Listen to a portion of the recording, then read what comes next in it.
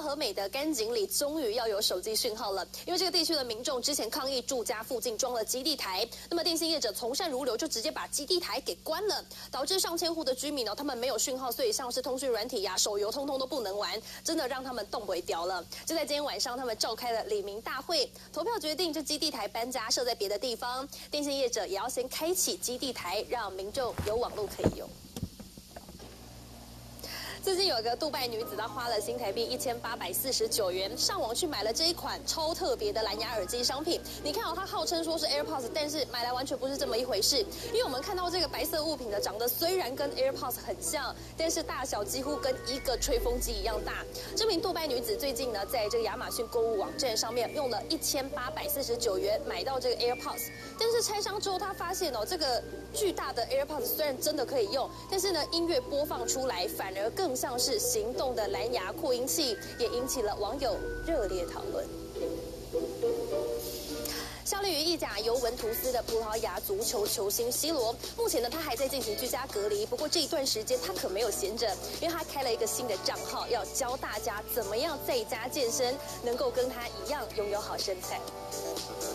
一男子哦，他花了这个六万块买了一台改装露营车，不过因为呢，他内部出了一些问题，就拿去修车厂。结果师傅就跟他说：“哎，你这个车怪怪的，好像是从灵车改造来的。”那么去咨询咨询几个礼仪业者，他们也说非常像。还有人笑他说：“以后你不用开冷气就会非常凉。”所以呢，他就把这影片抛上网，请大家来看看。结果我仔细看，发现这车子里面还真的有这个拖拉的痕迹。那怀疑呢，是不是这个棺木不断的拖拉才会造成？那么里面有这黄色的枕头，好。像是往生者在使用的，甚至在车子前面还有保险杆都有钻孔，可能是来挂遗照的支架钻孔。那么他就觉得说自己都被车商给骗了，买了这灵车。事后他去查证，那么得知这一辆爬山虎的箱型车呢，是在二零零一年出厂。那么二零一三年一直到二零二零年之间，这车辆的用途到底是哪边呢？他也是找不到。那么另外再跟中古车行来查证，他们也都否认说曾经当过灵车。那么因为这车子买来之后呢，就放在家里，所以。所以呢，这个买家家里面的长辈都觉得很不高兴，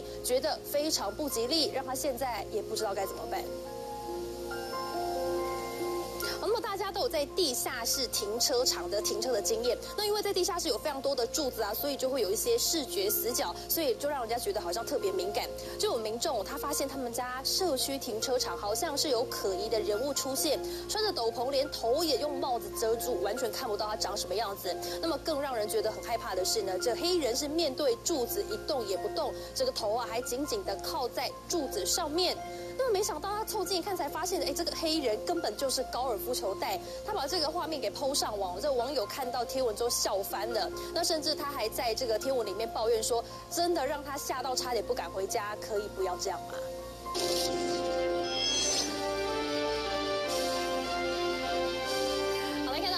便当也能变成人气美食，这是在南港有一家便当店，他把冠军食材装到便当盒里。这道招牌乌鱼子海鲜沙拉是用全国评鉴第一名的冠军乌鱼子，再搭配上清脆的蔬菜，撒上特制的肯琼粉，让这海鲜沙拉的味道非常独特，而且口感相当清爽。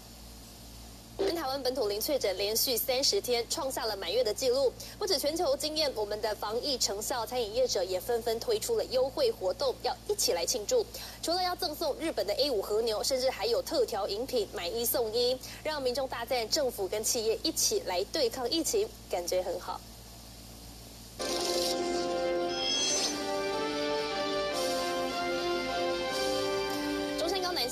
湾路段十二号呢，有辆宾士车是逆向奔驰在内线，整个画面呢都被拍了下来。我们连线给记者顾家珍。台南市仁德区在去年八月发生了一起街头枪战，有两派的人马呢，因为桥赌债谈判破裂，引爆了火拼，酿成了一个人死亡。警方之前呢都已经陆续的逮捕了六名的嫌犯，不过呢，这提供枪支的嫌犯是逃了九个多月才被抓到。